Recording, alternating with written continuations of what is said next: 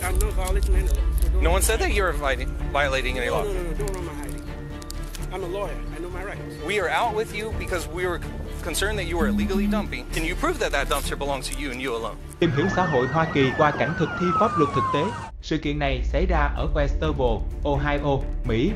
Một buổi chiều, luật sư dân quyền Âu Lafaley đang lấy bịch rác ra khỏi chiếc xe Tesla của mình và vứt vào thùng rác ngay phía sau văn phòng làm việc. Vừa hay có hai cảnh sát đi tuần ngang qua nhìn thấy, cho rằng anh rất khả nghi nên lập tức dừng xe lại gần để hỏi thăm. Hi there.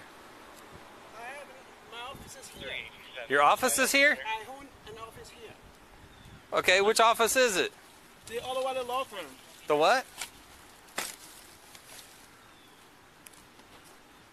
Âu La Lay không nói nhiều, liền nhanh chóng mở cửa xe chuẩn bị lấy danh thiếp ra. Nhưng động tác này quả thực có phần nguy hiểm, rất may viên cảnh sát không rút súng ra. Here's my business card.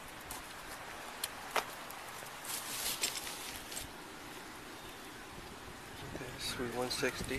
Okay. If you All right. Huh? If don't mind, just so, yeah, if you don't mind, can we see your ID? Yeah.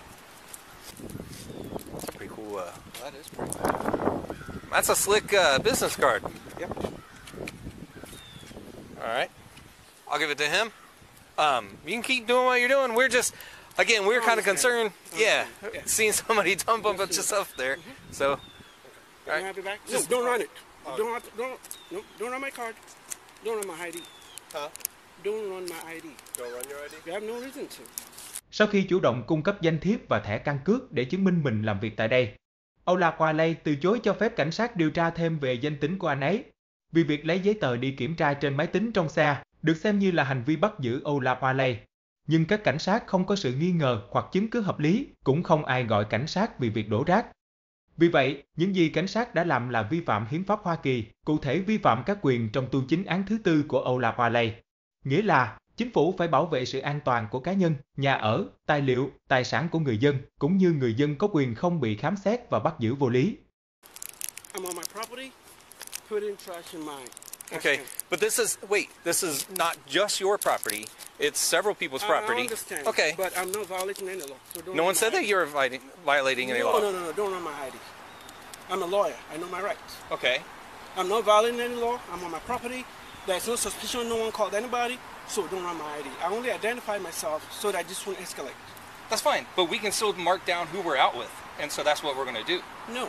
Yes. You didn't stop me. This, don't turn Yes. this into an issue. Sir, you are turning this into an issue. We're just simply marking down who we're out with. Yeah. So he's just going to write it down on a piece of oh, Well, paper. it's just, just, Yeah. it's just your name.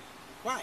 Because, sir, we are out with you because we were concerned that you were illegally dumping. But but you you already discovered. Do you want me to show you my office? I understand that you're here, but I don't know if this dumpster belongs to you or somebody else in the in the It complex. belongs to me. Mặc dù vị luật sư đã cung cấp giấy tờ và cũng không có hành vi vi phạm pháp luật nào khác, nhưng cảnh sát vẫn chưa có ý định để anh rời đi.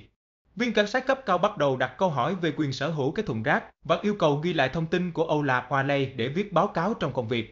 To you and you alone. Yes. Can you prove that that dumpster belongs to you and you alone?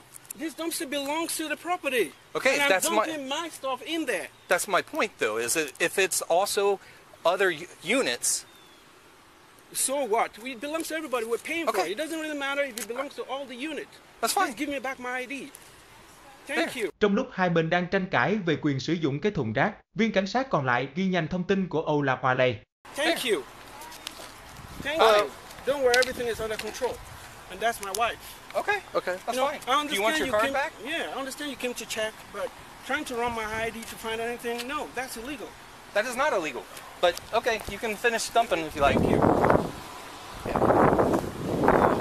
Sau khi ghi lại thông tin của vị luật sư, các cảnh sát trả lại giấy tờ tùy thân cho anh và chuẩn bị rời đi. Rõ ràng họ cũng không muốn thảo luận vấn đề pháp lý với luật sư. Nhưng khi các cảnh sát quay lại xe tuần tra, họ vẫn thực hiện kiểm tra thông tin của Ola Qualey trên máy tính và phát hiện anh không có tiền án tiền sự. All right, just turn around, get out of here, and then we'll up. Một ngày sau sự việc, Ola Paley đã đăng nội dung vụ việc lên mạng xã hội. Anh cho biết mình cảm thấy bị phân biệt đối xử trong tình huống này. Sau đó, Sở Cảnh sát thành phố đã điều tra vụ việc và một tuyên bố nhanh chóng được đưa ra. Cảnh sát trưởng Chandler phát biểu cho biết, hai viên cảnh sát cấp dưới rất chuyên nghiệp và lịch sự, không có vi phạm nào và hoàn toàn tuân thủ yêu cầu của sở.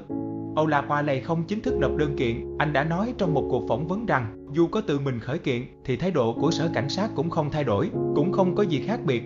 Ý kiến của bạn về sự kiện này như thế nào? Hãy cùng nhau thảo luận ngay bên dưới nha. Mọi người có thể xem thêm nhiều video thực thi pháp luật của Mỹ trong kênh mình. Đây là Cảnh sát Mỹ Sâu thăm và hẹn gặp lại lần sau.